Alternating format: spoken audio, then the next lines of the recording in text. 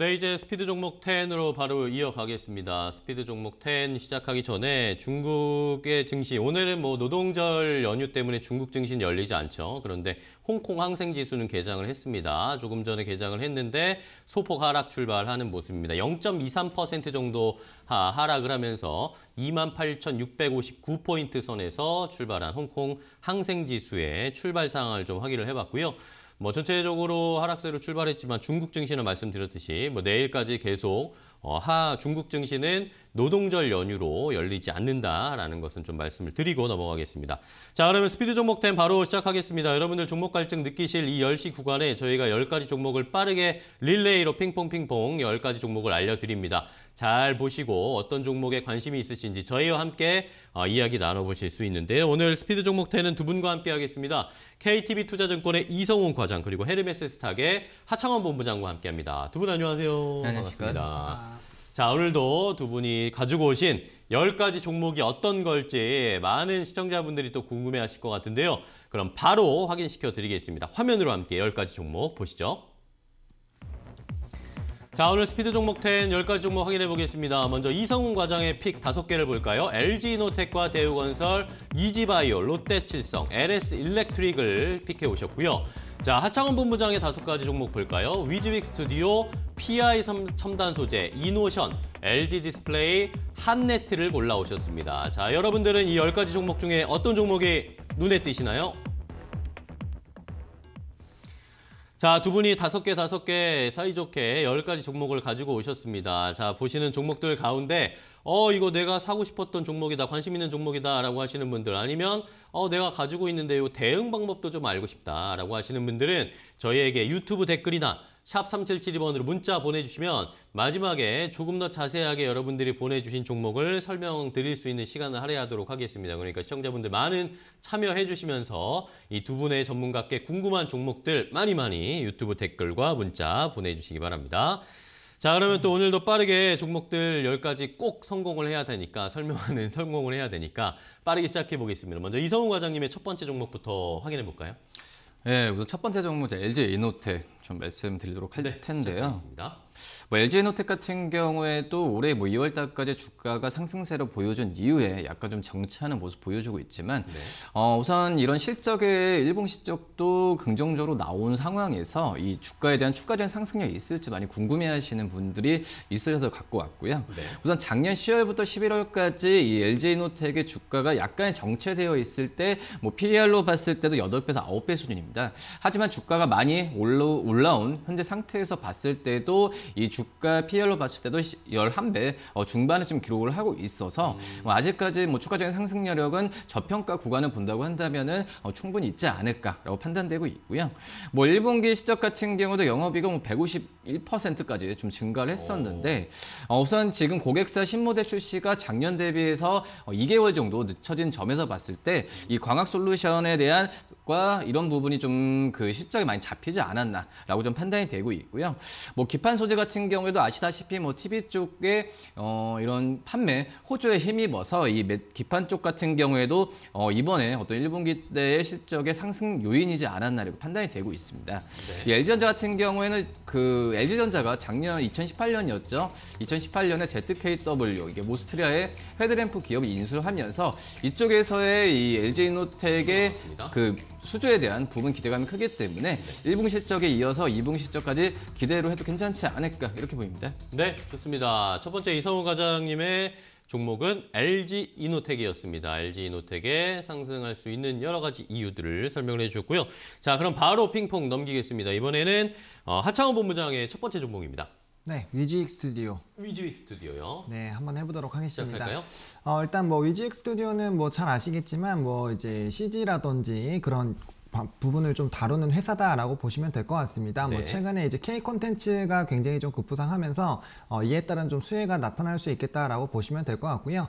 아무래도 이제 OTT 경쟁이 좀 심화가 되다 보면은 자연스럽게 콘텐츠에 대한 수요가 늘어나게 되는데 어, 그 부분에서 아무래도 이제 뭐 드라마나 영화나 이런 것들을 제작을 하다 보면은 이 CG 관련된 좀 이런 수요가 많이 늘어날 수밖에 없습니다. 어, 그러다 보니까 이에 따른 좀 기대감이 커지고 있다라고 보실 수가 있, 고요 어, 최근에 굉장히 많은 회사들 회사들을 인수를 하면서 뭐 제2의 스튜디오를 만들었다라는 얘기를 들을 정도로 네. 어, 인수를 좀 적극적으로 좀 진행을 했습니다. 그러니까 점점 규모가 커지고 있다라고 보시면 될 것 같고요. 어, 일단 업황 자체가 뭐 이 부분이 뭐 단기적으로 끝나기보다는 굉장히 오랜 기간 좀 부각이 될 수밖에 없는 상황이고 뭐 여전히 OTT에 대한 경쟁들은 심화가 되어 있는 그런 상황이기 때문에 어, 이에 따른 기대감들은 지속이 될 수밖에 없는 상황이겠다라고 조금 말씀을 좀 드릴 수가 있겠고요. 어, 또 추가적으로 뭐 영화나 드라마뿐만 아니라 뭐 공연까지 좀 얘기가 나오고 있는 그런 상황이고 뭐 위지윅 스튜디오 같은 경우 대표적인 메타버스 관련된 종목이기도 합니다. 어, 그러다 보니까 이제 메타버스 관련된 부분에서 이제 뭐 엔터나 이런 부분으로 좀 이제 뭐 게임이나 안에서 움직임이 나타날 수 있고 이에 따른 시장은 앞으로 굉장히 좀 성장 가능성이 높기 때문에 어, 두 부분을 좀 보신다면은 앞으로의 전망은 좀 굉장히 유망하지 않을까라는 그런 관점에서 좀 말씀을 드려보도록 하겠습니다. 네, 좋습니다. 첫 번째 종목 하차원 본부장님의 종목도 시간 딱 맞춰서 설명을 해 주셨습니다. 뭐 최근에 뭐 주가도 많이 올라와 있는 상황이지만 메타버스 관련된 이야기도 미래 관련해서 계속 나오고 있으니까요. 잘 한번 위즈익 스튜디오에 대한 전략 세워보시기 바랍니다. 자, 이번에는 핑퐁 다시 넘겨서 우리 이성훈 과장님의 두 번째 종목입니다.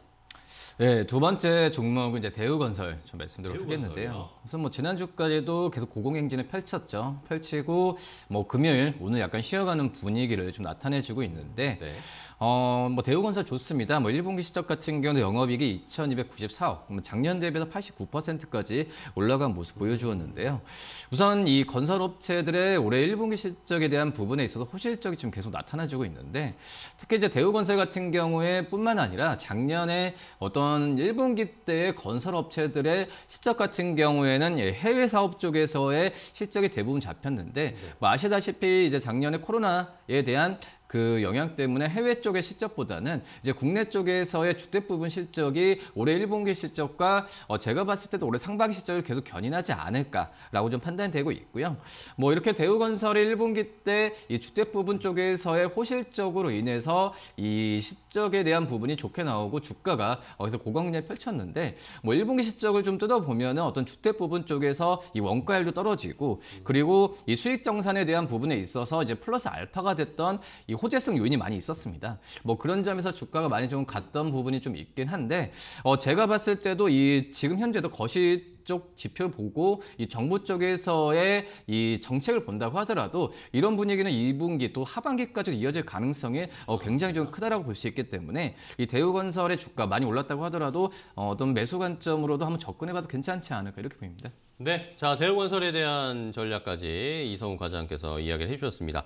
자 이제 전문가분들이 이제 시간 배분에 너무 이제 익숙해지셔가지고 시간을 딱딱 너무 잘 맞춰주고 계십니다. 두 분 다 시간을 아주 잘 지켜주고 계신데 자 이번에는 하창원 본부장님의 두 번째 종목 확인해 볼까요? 네, PI 첨단 소재 말씀을 드려보도록 네. 하겠습니다. 뭐 일단 아시겠지만 휴대폰이나 OLED 전방에 대한 이런 수요가 많이 늘어나다 보니까 뭐 PI 관련된 필름 수요가 굉장히 좀 크게 늘어나고 있습니다. 어, 근데 수요는 굉장히 늘어나고 있는데 사실 이제 공급 부족에 대한 얘기들이 계속 나오고 있다 보니까 어, 이런 흐름으로 가게 된다면 자연스럽게 이제 제품 가격이 높아지게 되고 어, 수익성이 좀 확대가 되는 그런 흐름으로 갈 수밖에 없겠다라고 말씀을 드리겠고요. 어, 또 최근에 주가 흐름을 보면 이제 52주 신고가를 또 찍은 상황입니다. 연이어서 계속 이제 한 번씩 눌리지만 어, 계속적으로 좀 반복해서 돌파를 해주는 그런 모습들이 나타나주고 있는 그런 상황이고요. 일단 그렇게 이제 움직임이 나오는 거는 실적에 대한 이제 긍정적인 어, 흐름이 나타나고 있는데 네. 사실 1분기뿐만 아니라 이제 이런 공급과 수요에 대한 얘기들이 계속 나오다 보니까 어, 지속적으로 이런 수요에 대한 부분들, 이 실적의 부분에서는 어, 긍정적인 흐름으로 갈 것이다 아, 라는 그런 이제 기대감으로 가는 거기 때문에 실적 베이스 종목이라고 말씀을 드릴 수가 있겠고요. 어, 특히나 이제 변동성이 심한 그런 상황에서는 아무래도 실적이 좀 깔려 있는 종목군들 같은 경우는 좀 편안하게 좀 접근이 가능하다라고 좀 말씀을 좀 드리겠고 어, 이제 증권사에서 목표가를 굉장히 좀 상향을 많이 해주고 있습니다. 아무래도 이제 증권가에서 목표가를 상향을 해주는 것 자체가 어, 투자 심리에 굉장히 좀 긍정적으로 미칠 수 있는 영향이다 보니까 어, 이 부분도 좀 투자에 긍정적으로 영향을 좀 미치지 않을까라고 보고 있는 상황이고 또 이제 뭐 증설에 관련된 그런 이슈들이 좀 있는 상황이고 어, 그다음에 이제 뭐 이런 증설이 결국에 진행이 된다라는 거는 앞으로의 수요가 더 많이 늘어날 수밖에 없다라는 부분을 좀 보는 거기 때문에 이 부분을 좀 집중해서 보시면 되겠다라고 말씀을 드려보도록 하겠습니다. 좋습니다. 아, 굉장히 마지막에 모터를 다셔서 입에 빠르게 시간을 딱 맞춰주셨고요. 자, 이렇게 PI 첨단 소재까지 확인을 해봤습니다. 저희 방송 여러분들 아시죠? 10가지 종목을 릴레이로 알려드립니다. 내추럴 YH님이 오늘은 10개 모두 가나요? 고고고라고 하시면서 빨리빨리 진행해달라는 의견을 저에게 해주셨습니다. 자, 그렇다면 다음 종목 바로 또 이성우 과장님의 세 번째 종목 볼까요? 예, 이지바이오. 이지바이오요? 먼저 말씀을 드리도록 하겠는데요. 네. 우선 지금 현재 뭐 지분 수합이나 지배 구조 이런 부분에 있어서 항상 이지바이오의 주가의 상승 모멘텀이 좀 됐던 상황인데 뭐 이 부분 같은 경우에는 그 제가 보더라도 어 이지바이오의 사업 구조 면에서 봤을 때는 긍정적인 이슈가 많기 때문에 뭐 이 부분 같은 경우는 주가에 플러스 덤으로 계속 그 호재가 될 가능성이 있다라고 판단이 되고 있고요. 우선 뭐 이지바이오 같은 경우에는 아시가, 아시겠지만 사료 그리고 첨가제를 어, 만드는 기업이라 볼 수 있겠는데 뭐 첨가제라고 한다면 뭐 그 어떻게 보면 영양제라고 볼 수 있을 거예요. 이 자돈이라고 해서 새끼 돼지하는 이 주는 이런 좀 영양제라고 좀 볼 수 있겠는데 지금 현재 이제바이오 같은 경우 우리나라 이 첨가제 쪽에서는 독보적인 뭐 시장 점유율 1위를 지금 달성을 하고 있는 현재 상황이라고 볼 수 있겠고요. 네. 뭐 그렇기 때문에 영업이익률이나 재무제표 본다고 하더라도 이런 안정적인 실적에 대한 방향성 계속 갈 가능성이 좀 있지 않을까 이렇게 좀 판단되고 있고 이 중요한 부분 해외 쪽 매출입니다. 지금 현재 뭐 중국도 그렇고 이 베트남 쪽도 그렇고 이 항생제에 대한 사용을 지금 엄격히 지금 하고 있는 상황이기 때문에 이 항생제 대체품으로 지금 사용되고 있는 이 첨가제에 대한 이 수요는 늘어날 가능성이 크지 않을까 이렇게 좀 판단이 되고 있습니다. 네. 그런 점에서 해외 쪽에서의 이지바이오 첨가제에 대한 수요 부분은 계속 늘어날 가능성이 좀 크기 때문에 이지바이오의 국내 매출뿐만 아니라 해외 쪽에서의 매출 부분도 기대를 한다면 어, 충분히 좀 주가가 어, 바닥에서 탈피하는 구종에서 매수 관점으로 접근은 괜찮지 않을까 이렇게 보입니다. 네, 좋습니다. 자, 이성우 과장님도 시간을 딱 맞추셔가지고 마지막에 모터가 달린 듯이 입을 마지막에 멘트를 해주셨습니다. 자, 이렇게 일단 이지바이오까지 확인을 해봤고요. 이런 상황에서 유튜브에서 이재행님이 이거는 주식 랩배틀인가 종목 소개인가 라고 이야기를 해주셨고 아, 이지바이오는 어, 시간마다 나온다. 요즘 이지바이오에 대한 방송에서 이야기들이 굉장히 많이 나오고 있다라는 걸 확인할 수가 있는 상황입니다. 자, 그 다음에 또 이제 하창원 본부장님의 세 번째 종목 확인해 볼까요? 네, 이노션. 네, 이 노션이요? 말- 네, 말씀을 드려보도록 하겠습니다. 어, 일단 이 노션 같은 경우는 자리적으로 일단 굉장히 좀 편안하게 좀 접근이 가능하다라고 네. 말씀을 좀 드릴 수 있는 종목입니다. 뭐 이거는 코로나19 이전보다도 지금 낮은 상황이 유지가 되고 있기 때문에 일단 그 부분을 좀 집중해서 보시면 될 것 같고요. 네. 어, 일단은 뭐 이노션이면 뭐 자연스럽게 이제 현대차 광고 쪽으로 좀 생각을 해보실 수가 있는데 어, 일단은 그 이제 현대그룹 관련된 뭐 캡티브라고 하죠. 그 관련된 매출이 일단은 굉장히 크게 좀 증가할 것으로 좀 기대가 되고 있습니다. 아무래도 이제 계열사에 대한 이런 어, 이제 수주에 대한 기대감이 좀 나타나다 보니까 이런 광고에 대한 기대감들이 좀 커지고 있다라고 보시면 될 것 같고요. 네. 뭐 최근에 이제 뭐 로고를 바꾼다거나 아니면 신차에 대한 그런 이벤트가 있다 보니까 어, 자연스럽게 이 부분에서 광고에 대한 수요가 많이 늘어날 수밖에 없고 어, 이에 따라 좀 기대감이 나올 수 있는 상황이겠다라고 좀 말씀을 좀 드릴 수가 있겠고요. 어, 올해 그래서 실적이 좀 많이 좋아지지 않을까라는 좀 기대감이 되고 있는 그런 상황입니다. 사실 이제 바닥권에서 종목군들이 좀 반등이 나올 때는 어, 주가가 상승할 수 있는 그런 모멘텀들 뭔가 이제 어, 주가에 좀 모- 어, 작용을 할 수 있는 그런 모멘텀들 앞, 앞서 말씀드린 뭐 신차라든지 뭐 로고 변경이라든지 이런 어, 이- 일단 기대감이 있다라고 말씀을 드리겠고 거기에다 이제 실적까지 받쳐주면은 어, 점진적인 우상향으로 좀 올라오는 그런 흐름들이 나타날 수가 있거든요. 그래서 이러한 기대감이 있다라고 말씀을 드리겠고 또 이제 계열사 외에 그런 광고에 대한 비중들도 늘어나고 있기 때문에 뭐 이 부분에서도 또 당연히 외형 성장이 좀 나올 수 있다라고 보실 수가 좀 있겠다라고 말씀을 좀 드려보도록 하겠습니다. 네, 좋습니다. 이노션에 대한 해법까지 전략 어, 자세하게 하창원 본부장이 설명을 해드렸습니다. 자, 빨, 빠르게 또 다음 종목으로 넘어가 볼까요? 이번에는 이성훈 과장님의 네 번째 종목입니다. 네, 롯데칠성 말씀을 롯데 하면 칠성이요? 지금 오늘도 이제 한 5% 정도 상승세를 지금 오. 보여주고 있는데 네네. 우선 그 1분기 실적 같은 경우에도 예상치보다는 굉장히 좀 좋았습니다. 원래 장, 그 사회적 거리두기에 대한 영향 때문에 네. 뭐 업소 시장도 뭐 침체가 됐고 이런 그 부정적 영향이 있을 것으로 좀 판단이 되고 있지만 뭐 1분기 영업이익은 323억으로 물론 작년 대비해서 400% 이상의 어, 이런 영업이익의 어, 호실적을 좀 달성했다라고 볼 수 있겠고요. 뭐 한마디로 이제 여러 가지 그 어떤 코로나 여러 가지 이런 악재가 있을 수 있다라고 좀 판단이 되고 있지만 네. 이 해외 쪽 법인뿐만 아니라 어떤 골고루 사업 부분 같은 경우가 지금 현재 롯데칠성의 내부적으로 어떤 통제나 또 이 가격 관리 뭐 이런 부분에 있어서 이런 호실적을 달성하지 않았나라고 생각이 되고 있고요. 뭐 이런 부분 같은 경우에는 주가로 그대로 좀 반영이 되고 있는 상황이다라고 볼 수 있겠고 이 작년 11월 같은 경우에 8만 원던 주가가 지금 이제 14만 7천 15만 원 15만 원을 향해 지금 달려가는데 뭐 이런 그 부분은 이제 2분기 때도 이제 이어질 가능성이 전통적으로 이제 2분기 때는 뭐 맥주나 여러 가지 면에서 이 주류 쪽에서의 판매 강화가 나오는 부분이기 때문에 뭐 이렇게 그 평범하게 본다고 하더라도 1분기 쪽에서 이상의 2분기 시장 달성할 가능성이 좀 있지 않을까 이렇게 좀 판단이 되고 있습니다. 한마디로 영업 실적 확장 국면이기 때문에 이 주가에 대한 부담보다도 한번 이 긍정적인 매수 관점으로 봐도 이, 괜찮지 않을까 일. 이렇게 보입니다. 여기까지입니다. 좋습니다. 롯데 칠성까지 이성훈 과장의 네 번째 종목 확인을 해봤습니다. 자 빠르게 또 넘겨볼까요? 하창원 본부장님의 네 번째 종목입니다. 네, LG 디스플레이 말씀을 네. 드려보도록 하겠습니다. 어, 일단 LG 디스플레이 같은 경우는 1분기 실적이 어, 굉장히 좀 좋게 나왔습니다. 흑자 전환을 좀 했고요. 어, 시장의 consensus보다 굉장히 좀 크게 나타나는 좀 이런 기대감이 있었습니다. 네. 아무래도 이제 하반기로 갈수록 뭐 LCD라든지 OLED에 대한 기대감들이 좀 커지고 있다 보니까 어, 이에 따른 이제 점진적인 실적의 확대가 좀 일단 기대가 된다라고 말씀을 드리겠고요. 어, 일단은 그 이제 기반이 되는 게 어, 집콕 그러니까 코로나19가 다시 한번 또 확산이 되고 있다 보니까 그 과거에서 또 이제 집콕 쪽들이 좀 많이 늘어나다 보니까 자연스럽게 이제 TV라든지 이런 가전에 대한 수요가 많이 늘어났는데 어, 다시 한번 이제 코로나가 재확산이 되다 보니까 이러한 흐름들이 좀 유지가 되지 않을까라는 좀 기대감들이 커지고 있습니다. 어, 그러다 보니까 자연스럽게 뭐 이런 패널이라든지 이런 수요가 늘어날 것이다라고 좀 보고 있는 그런 상황이고요. 어, 일단은 뭐 또 LCD 관련된 이제 패널 가격이 좀 크게 상승을 하고 있는 그런 추세입니다. 아무래도 LCD 비중이 좀 적지는 않기 때문에 어, 이 부분에서 좀 긍정적인 영향을 당연히 받을 수밖에 없다라고 보실 수가 있겠고요.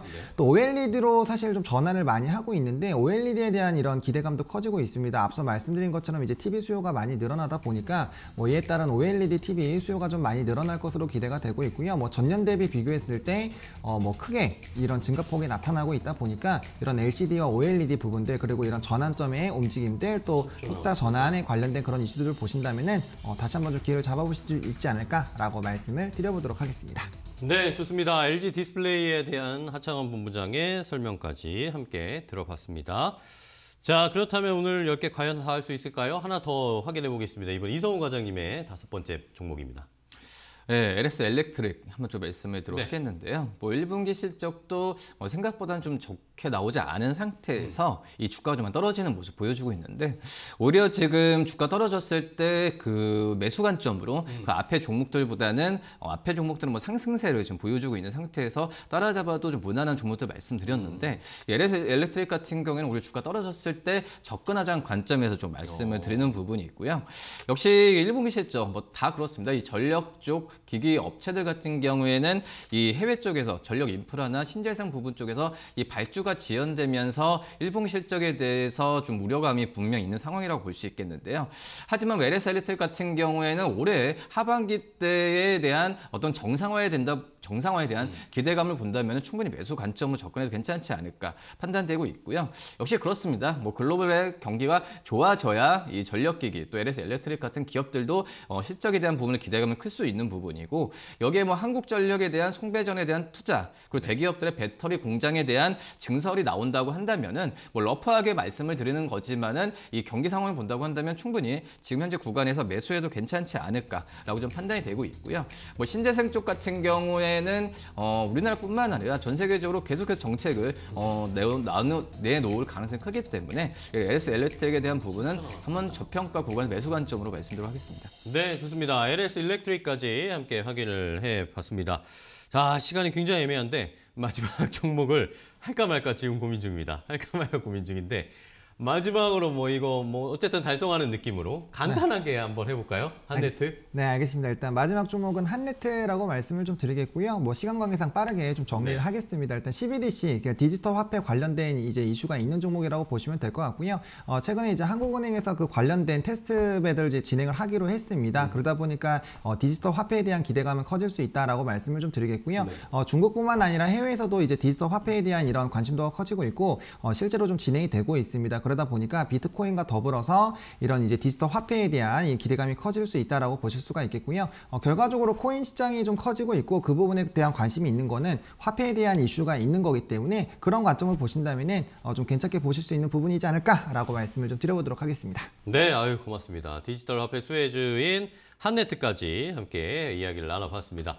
자, 오늘 두 분과 함께 요 종목을 결국에 뭐 어쨌든 꾸역꾸역 열 가지를 다 했습니다. 두 분 너무 오늘 잘 저의 리드에 따라와 주셔서 감사하고요. 두 분이 시간을 잘 분배를 해주셔가지고 결국에는 열 가지를 설명을 드렸습니다. 오늘 KTB 투자증권의 이성훈 과장 그리고 헤르메스 스탁의 하창원 본부장과 함께했습니다. 오늘 두 분 좋은 정보 알려주셔서 감사하고요. 다음 시간에 또 좋은 정보 많이 가지고 와주시기 바랍니다. 고맙습니다.